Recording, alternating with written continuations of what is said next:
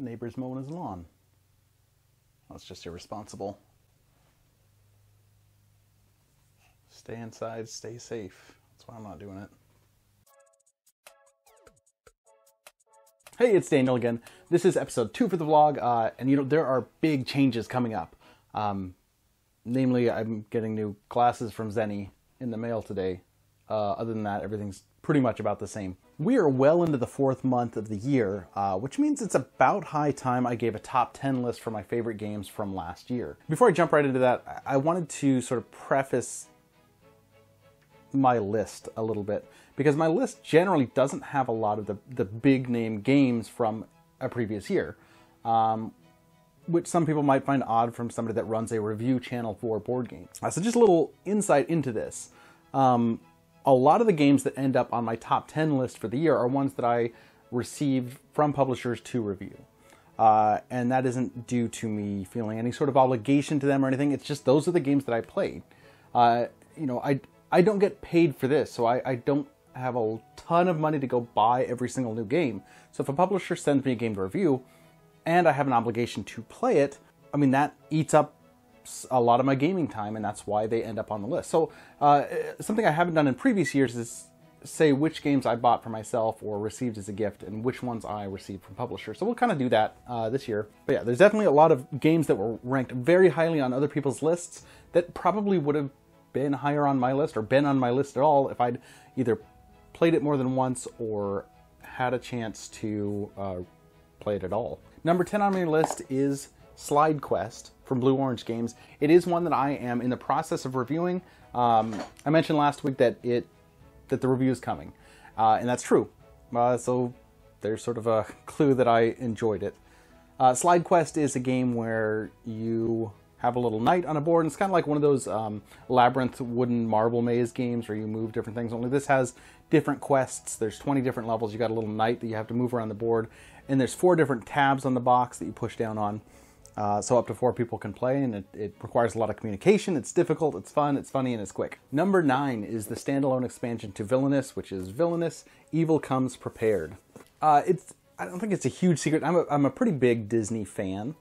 Um, and I, I kind of always have been. So this idea that there was a game coming out where you could play as a Disney villain uh, was really appealing to me, um, and especially the way that the the system is sort of this closed, not deck building because it's not a construction deck construction game, but a uh, oh boy, what would the what would the word be?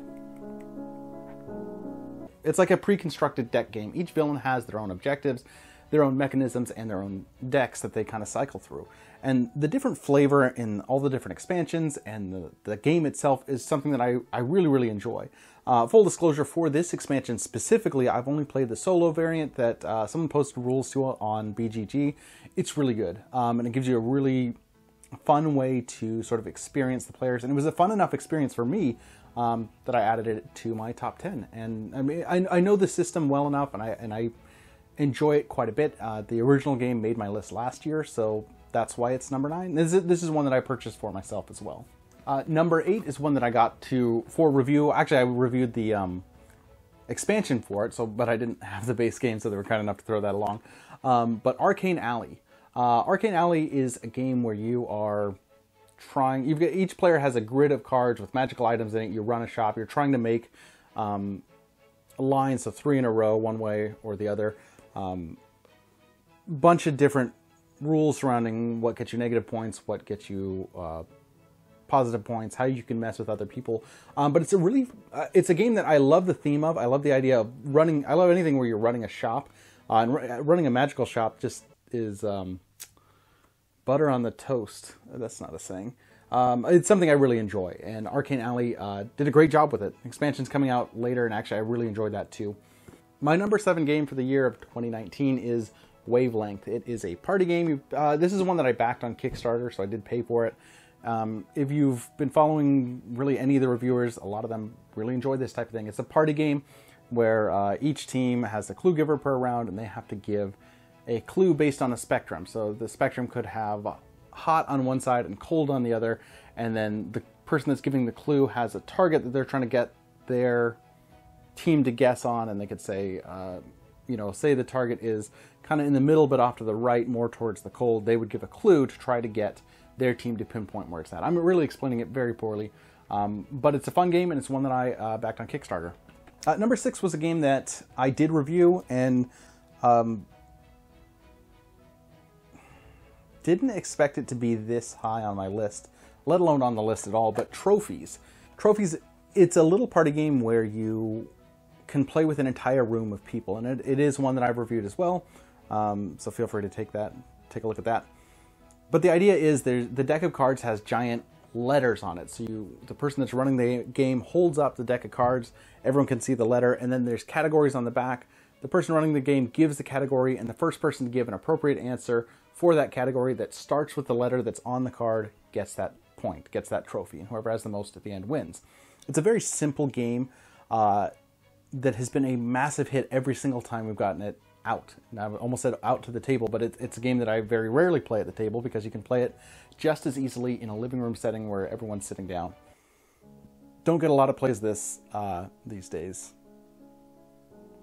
Uh, number five was one that I won from a Twitter contest that Danny Plays Games put on, and it is Cartographers, um, uh, which I'm really excited about because I only heard great things about this, but uh, didn't have a chance to play it and, and wasn't in a position at the time to really spend money on it. So I was super excited to get a copy of this.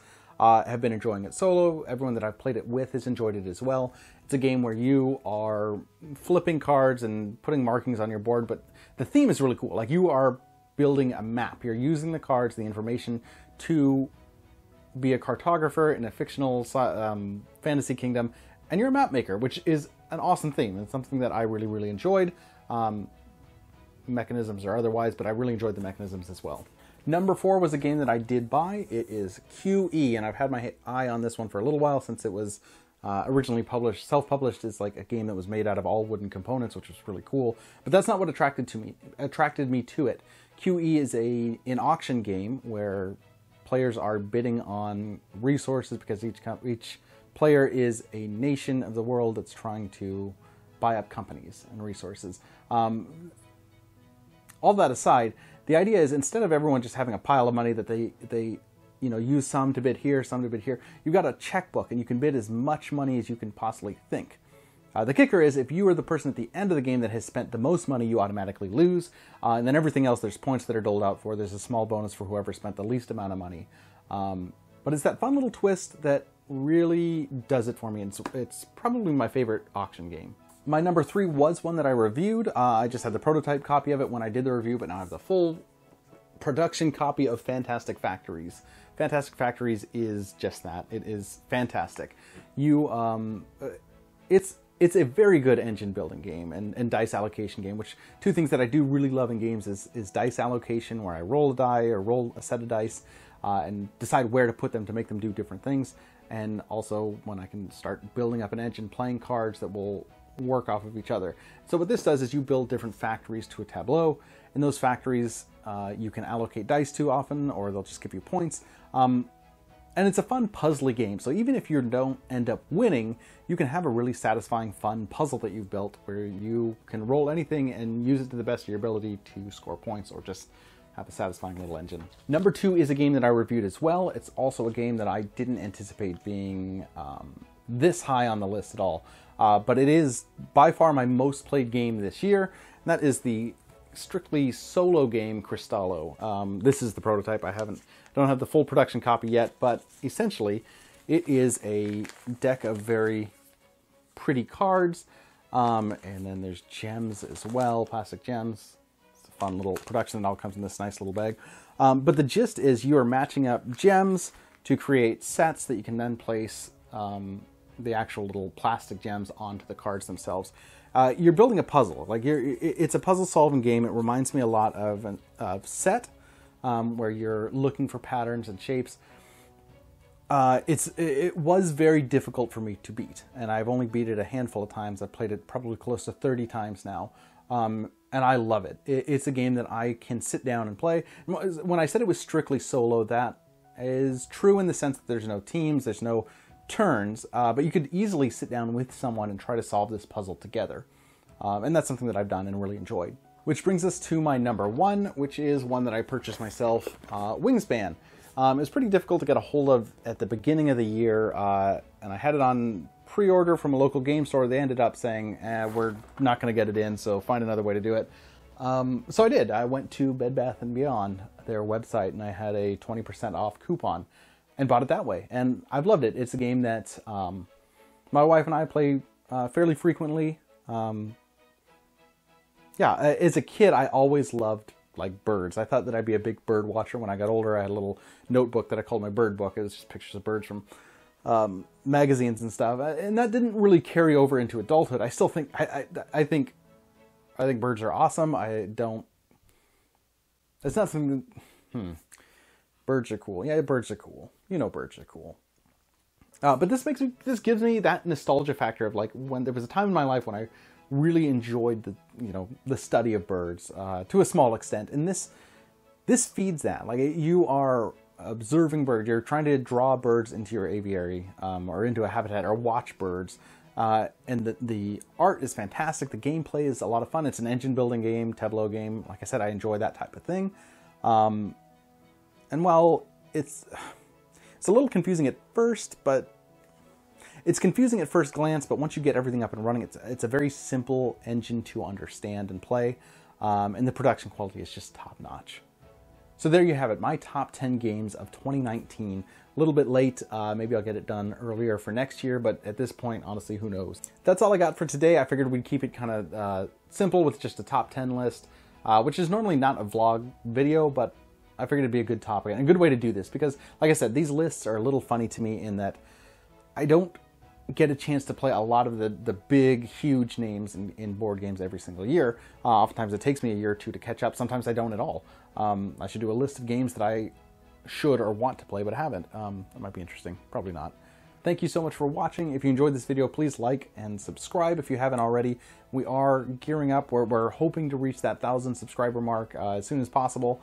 And um, thank you so much for watching. Like, I am blown away by the amount of subscribers that we have now. And uh, yeah, thank you guys so much for taking the time out of your day to watch this, to watch um, whatever dumb stuff I put on the internet. I, I really appreciate it. It's something that I enjoy doing, and I enjoy it even more when I know that there are other people that are enjoying it.